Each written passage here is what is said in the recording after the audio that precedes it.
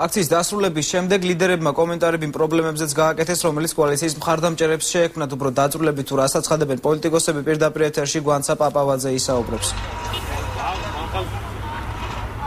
აქციის დასრულების შემდეგ ქართული ოცნების ლიდერებმა კომენტარები გააკეთეს და იმ პრობლემებზე გაამახვილეს ყურადღება, რაც აქციის ორგანიზებისაც ორგანიზებისაც შეხვდნენ. თინა ხიდაშელის განცხადებით, ძირითადი პრობლემები აზერბაიჯანელ მოსახლეობას შეხვდა, რომელთა სატრანსპორტო საშუალებები გააჩერა საპატულო პოლიციამ და მას შემდეგ რაც იქ აღმოაჩინა ქართული ოცნების მაისურები სატრანსპორტო საშუალებების ნაწილი საჯარიმოზე გადაიყვანა, ნაწილი კი უბრალოდ დააჯარიმა. თინა ხიდაშელის განცხადებით, ამ დაბკოლების მიუხედავად აზერბაიჯანელმა მოსახლეობამ რუსთავის აქციაზე ჩასვლა მაინც მოახერხა.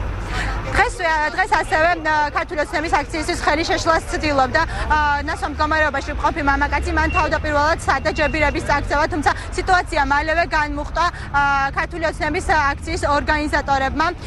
მას ამის შემდეგ ჩვენ კითხვა დაუსვით მამაკაცს თუ რა მიზეზით სურდა აქციისთვის ხელი შეშლა თუმცა მან ჩვენ ჩვენს კითხვაზე პასუხი ვერ გასცა და ტერიტორია მალევე დატოვა. ლიფლეტებს თუ ყოველობდნენ ქართული ოცნების ან მაისურებს მანქანების საჯარიმოებზე გადაიყვანეს, როგორც ხალხი გვიყვება და მე უკვე სხვა ტრანსპორტით წამოვიდნენ, ან არ ჩამოართვეს სატრანსპორტო საშუალებები, ჯარიმები გამოუწეს. არაფერი განსაკუთრებული ჩვეულებრივი უაზრო, არაფრის მომცემის ინამდვილეში მოქმედება. აქაც იყო ხელი შემჯერდი გაგვიფუჭდა, არ ვიცი ეს რის მიზეზი იყო. აა დანადგარი, რომელსაც რომელთაც ჩვენ მართავთ ამ ღონისძიებებს და ხმაც გაგვეთიშა რაღაცა პერიოდი, მაგრამ ყველაფერი კარგად დამთავრდა.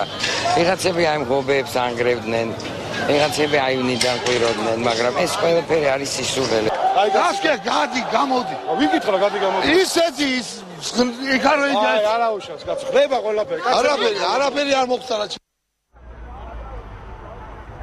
ჩვენ ლიდერებს ასევე შევეკითხეთ იქნება თუ არა კონკრეტულად ცალკე აქცია. ქვემო ქართში მათი განცხადებით აქცია აუცილებლად გამართება ქვემო ქართში კერძოდ შეკრება იქნება მარნეულში. რაც შეეხება მომდენო აქციას თუმცა მათ ზუსტი თარიღი ამჯერად არ გაახმაურეს. როდის იქნება შეკრება მარნეულში? რაც შეეხება მომდენო აქციებს ლიდერების განცხადებით ის 26 და 27 აგვისტოს გამართება რაჭალეთში ხოლო 2 სექტემბერს უკვე თელავში მადლობა გვანცა პირდაპირ ეთერში გვანცა პაპავაძე საუბრობდა